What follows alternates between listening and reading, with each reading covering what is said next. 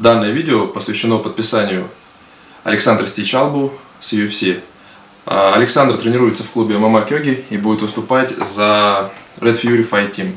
Мы хотим поблагодарить нашего менеджера Сэма Кардена за то, что сделал возможным это подписание.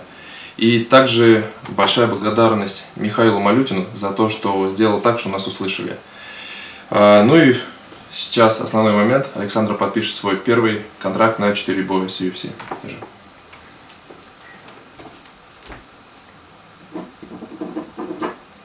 Готово. Поздравляю. Спасибо.